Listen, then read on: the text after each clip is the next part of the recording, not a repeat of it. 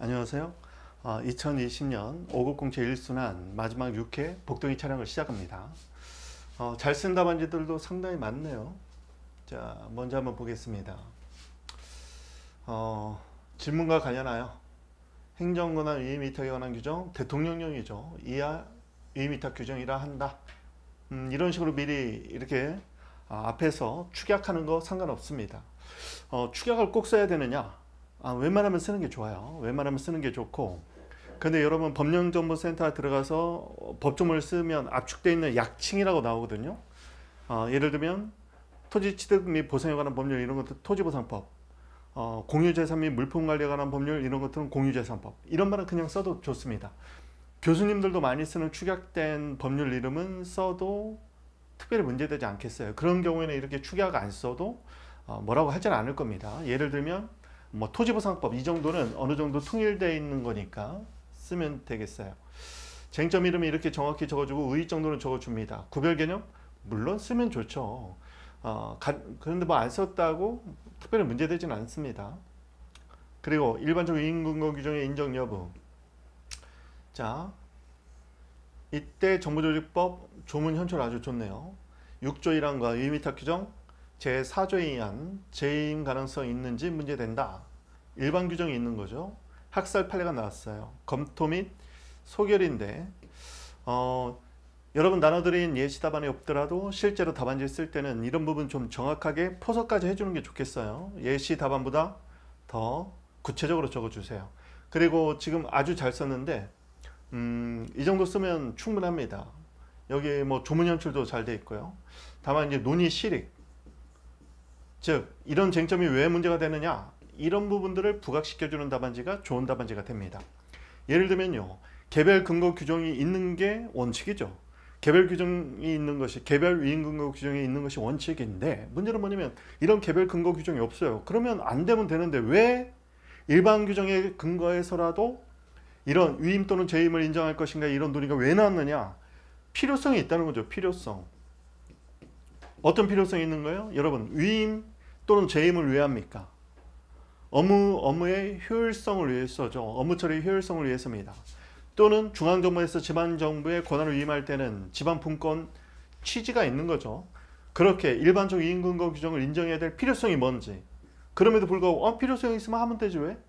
근데 일반적 이인근거 규정을 인정해버리면 뭐가 문제가 생기는 거냐? 뭐가 문제가 생겨요? 정확하게?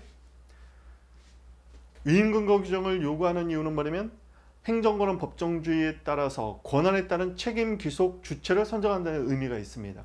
그런데 이렇게 위임이요 일반 규정에서 이루어지다 보면 행정권은 법정주의를 잠탈할 가능성이 있는 거예요.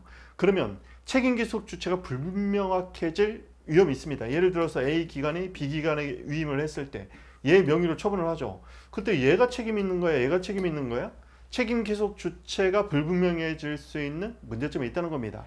이런 책임 기소 주체를 명확하기 위해서 권한 법정주의를 설정한 거예요. 행정권은 법정주의를 법정주의를 설정하는 건데 이렇게 대적 처분을 행사할 수 있는 권한자가 변경이 된다면 행정권의 법정주의에 따라서 법적 근거를 요구하게 되는 것이죠. 이때의 법적 근거는 개별적 근거를 원칙으로 하지만 이렇게 필요성이 있을 때 일반적 수권 규정을 인정할 것인가 이런 실익을 정확히 적어주는 답안지가 어, 좋은 답안지가 된다. 이제 이렇게 써도 충분하지만 앞으로 고득점을 지향한다면 그런 부분을 조금 더 어, 염두에 두면 좋겠죠. 다음 건설업법상 영업정지 처분이 기간임 사무인지 아, 제목을 아주 잘 잡네요. 목차 아주 좋습니다. 구별 기준 이건 뭐 많이 쓰는 거죠. 암기가 좀 돼야 됩니다. 사안의 경우 포섭도 좋고 이렇게 방가루를 적어주니까 채점자에게 보기 편해서 좋아요. 조례 한계로서 조례 제정 대상 사무냐 아주 목차를 아주 잘 쓰고 있어요. 이렇게 구체적인 목차를 적어줘야 됩니다. 그리고 하부 목차에서 쟁점 이름이 나와주는 건 상관없어요. 여기는 그냥 곧바로 여기 보세요. 자치사무와 국가사무의 구별 기준 사실 이것이 쟁점 이름이에요. 그런데 소목차를 없애는 대신 쟁점 이름을 문두에 둠으로써 어, 눈에 확 들어오게 만들었죠. 이런 것들도 스킬입니다. 답안지 쓰는 스킬이에요. 아주 잘 썼습니다. 어, 다음 처분에 대한 소의 대상이 뭐냐 이렇게 구체적 목차를 단 것이 아주 참고할 만한 게 아주 좋네요. 변경 처분과 소의 대상 이게 지금 쟁점 이름인데 하부 목차에서 쟁점 이름을 쓰지 않을 때는 이렇게 옆에다 쓰는 것도 스킬입니다. 적어도 이렇게 쟁점 이름을 정확하게 구체적 설문 내용과 그리고 쟁점 이름 이것을 하나로 묶어서 쓸 때는 이렇게 밑줄을 그어놓고 옆에 써주는 것도 어, 좋은 방법 중에 하나예요. 물론 다 이렇게 쓰라는 거 아니에요. 이런 답안지를 쓰기 위해서는 본인이요 소목차를 달지 않아도 될 정도로 어, 풍부하게 쓸 수 있는 자신감이 있을 때 이렇게 쓰는 거예요. 무조건적으로 흉내내면 안 됩니다. 학설 판례 눈에 띄게 잘했어요. 학설은 한 줄만 쓰면 조금 부족하게 느껴지니까 어, 본인이 지지하는 학설을 예를 들면 여기 구별설, 구별설을 늘렸으면 두 줄이 나오는 거죠. 즉 소극적 변경일 때는 당초 처분, 적극적 변경, 변경일 때는 변경 처분이 소의 대상이 된다는 구별설이 대립한다. 이런 식으로 써주면 되겠어요. 검토 및 사안의 경우 자 설문 내용 조문이 있으면 조문까지 써주면 더 좋겠어요. 물론 사안은요 어, 조문이 필요한 사안은 아니었습니다만은 조문이 필요한 사안은 아니지만 웬만하면 우격다짐으로 적어주라고 했죠. 과정은 부가처분의 근거 조문을 밝혀주면 되는 거예요. 나중에는 조문을 어떻게든 집어넣으세요. 조문은 조문은 어떻게든 집어넣는다. 아, 적어도 박돈한테 행정법을 배운 제자라면 소결에서 포섭의 삼박자에서 조문은 빠지지 않는다. 자, 기억하십니다. 잘 썼어요. 뭐 나만 할 때가 별로 없네요. 어, 쟁송 수당, 취소 가능성, 어, 무효취소 구별 기준부터 쭉 내려가고 있어요. 질문이 많이 나왔는데요. 질문이 많이 나왔는데 보통은요. 처분의 효력, 처분의 효력 또는 처분의 적법성. 자, 이렇게 물어볼 수도 있다는 것도 기억하세요. 질문에서 많이 나왔는데 사안 같은 경우는 사안 같은 경우는 어, 이 사건 처분의 효력 또는 적법성을 논의하시오. 그러면요. 처분의 효력과 관련해서 특히 적법성이 논의가 되면 첫 번째는 조례의 한계, 즉 조례 위법성을 따집니다. 위법하다면 두 번째 연결하는 거죠. 위법한 조례에 근거한 처분의 효력입니다. 취소 사유죠. 취소 사유면 그에 따른 쟁송 수단이 결정이 되는 거예요. 쟁소 수단이 결정이 되는 겁니다. 따라서 사안 같은 경우는요. 지금 굉장히 좋은 문제인데 왜 좋은 문제냐면 권리구제 수단을 물어봤어요. 권리구제 수단을 물어보면 두 가지를 써준다고 했어요. 쟁송수단과 가구제죠. 그 중에서도 쟁송수단. 그런데 쟁송수단 중에서도 행정소송법상 쟁송수단이라면 사안은 처분성이 인정되기 때문에 항고소송의 대상이죠. 그런데 항고소송 중에서도 취소송이냐 무효확인 소송이냐 위법성 정도가 문제되고 이 위법성 정도로서 위법한 조례에 근거한 처분의 효력을 검토합니다. 결론은 취소 사유죠. 그러면 취소 소송을 제기할 수 있다 이렇게 가는 거예요 지금. 이 논리 구조를 머릿속에 완벽하게 알고 있어야 됩니다. 만약에 처분의 적법성을 물어본다면 효력을 물어본다면 여기서는요 처분의 효력을 만약에 물어본다면 취소 사유인데 뭐에 의해서 공정력에 의해서 권한 있는 기관에 의해서 취소되기 전까지는 유효하다 여기까지 가져야 되는 겁니다 알아두세요 따라서 만약에 처분의 효력 적법성을 물어본다면 이때는요 이때는 여기서부터 써주는 거죠 여기서 여기서부터. 왜냐면 이미 처분이라는 얘기는 나왔기 때문에 항고 소송까지는 결론이 난 거예요 지금. 그러니까 여기까지는 검토할 필요가 없는 겁니다. 처분의 효력을 물어보면. 근데 사안은 권리구제 수단을 물어봤기 때문에 권리구제 수단 중 쟁송 수단과 관련해서 처분이기 때문에 항고 소송인데 과연 취소 소송의 대상인지 위법성 정도가 문제가 되고 위법성 정도와 관련해서 어, 당해 조례가 위법한지 위법하다면 위법한 조례에 근거한 처분의 효력이 문제된다. 이렇게 논리 구조에 맞게 뭐를 쟁점의 정연을 정리할 수 있는 능력이 필요합니다. 자, 논리 구조를 머릿속에 가지고 있어야 돼요. 그래서 여러분 쟁점 추출하는 것을 너무 기계적으로 하지 마시고 질문에 따라서 어떤 논리 구조를 갖고 있고 그 논리 흐름에 맞게 다시 역으로 답안지에 쟁점의 정리를 쓸 수 있도록 준비를 해야 되겠다. 답 얼마나 이건요 답안지는 논리요 논리. 질문에 따라서 쟁점이 추출되는 그 과정 과정이 빈틈이 있으면 안 됩니다. 논리가 있어야 돼. 다만 다만 실제 설문에서는 답안지 쓸 때 모든 걸 다 현출하기 힘들 때는 그럴 때는요.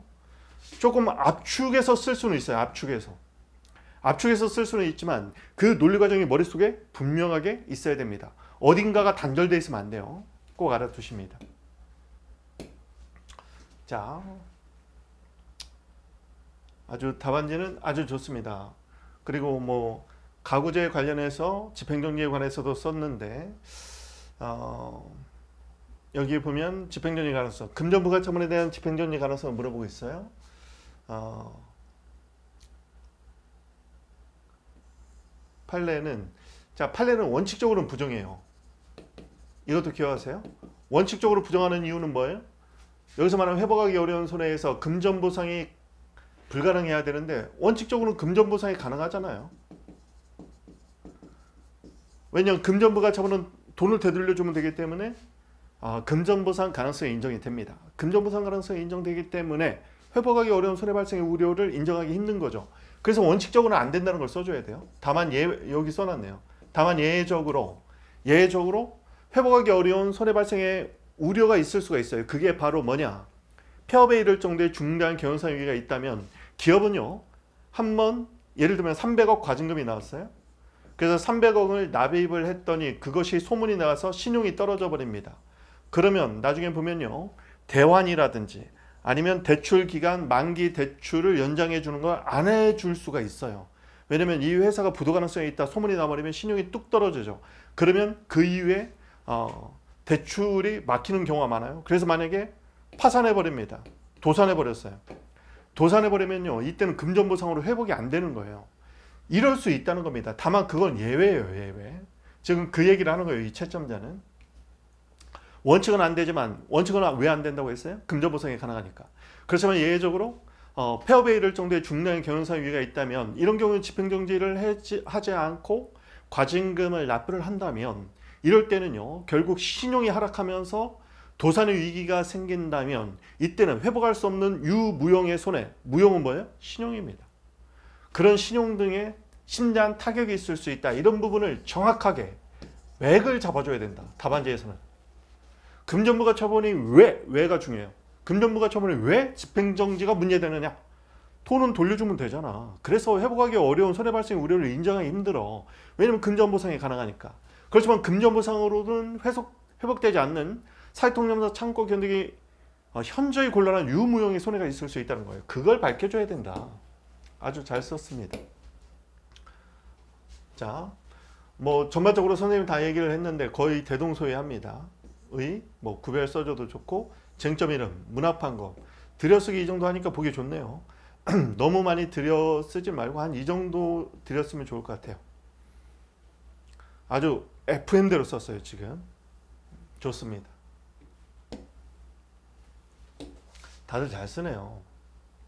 다음 목차도 아주 좋아요. 목차도 이렇게 구, 어, 구체적인 말로 써주고 쟁점 이름 들어가고 아주 FM대로 썼습니다.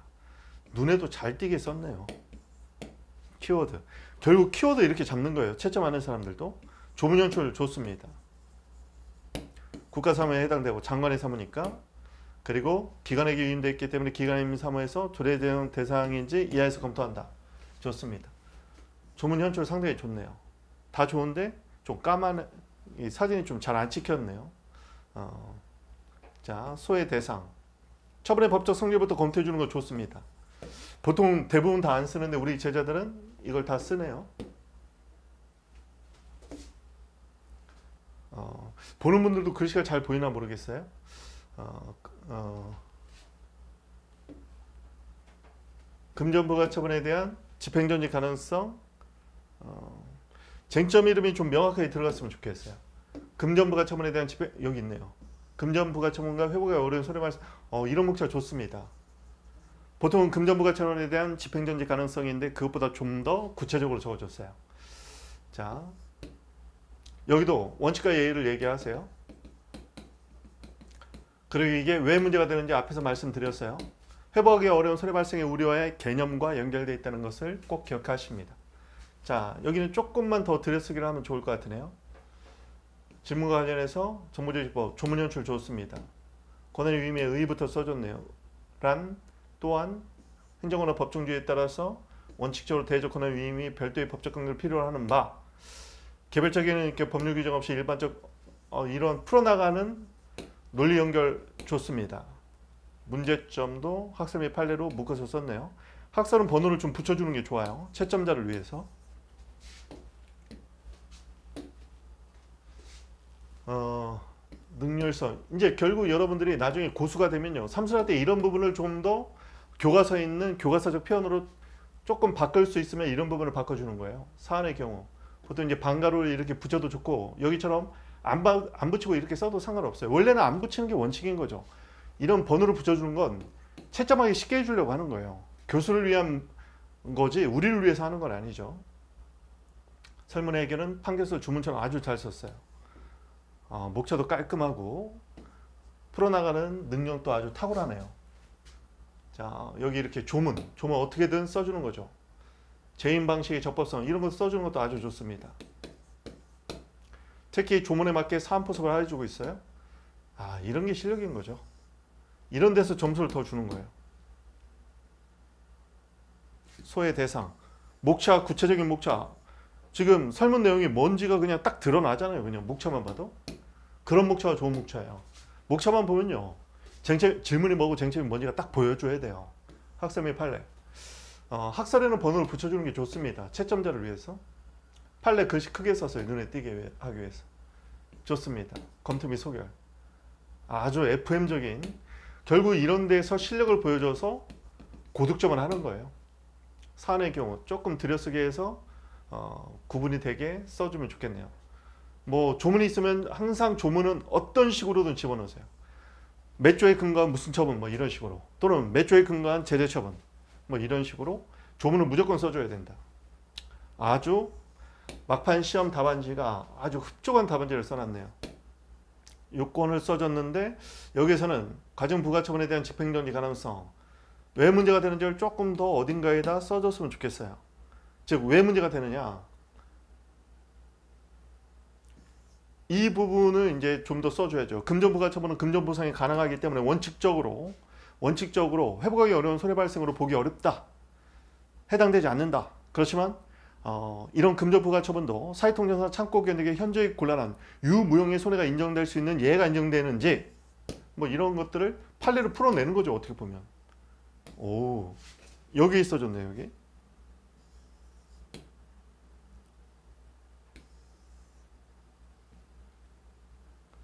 금전보가처분 원칙적으로 납부한 후 이후에 부당이득 반환 청구 소송으로 아,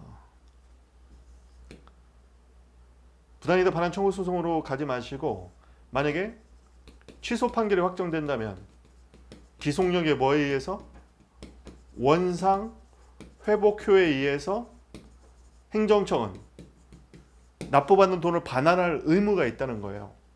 물론 반환해주지 않으면 소송을 제기할 수도 있는 거죠. 아, 이 부분 아주 좋습니다. 선생님 지금 얘기한 것을 여기다 지금 구현해 놨네요. 아주 퍼펙트합니다. 이걸 써주는 거예요, 이거를. 아주 마지막 답안지가 어, 최고의 내공을 보여주는 답안지로 마무리가 되네요. 아, 2020년 5급 근처 일순환 여러분 코로나19 때문에 아, 인강으로 돌아섰는데 사실요 이 복습 동영상을 잘 분석해서 자기 걸로 받아들여야 됩니다. 이 복습 동영상의 도움을 받아서 고득점했다는 행시 제자들이 정말 많거든요. 지금까지 그로 참조할 만한 좋은 답안지도 상당히 많습니다. 이런 답안지 통해서 자기만의 최고 답안 자체반, 자체답 만들고 TRS 3단계 연상 훈련을 통해서 자기 걸로 만들어서 자체답처럼 쓸 수 있으면 됩니다. 어, 기회가 된다면 TRS 훈련하는 영상을 한 번 정도 찍어서 올리도록 하겠습니다. 어, 지금까지 수고 많으셨습니다.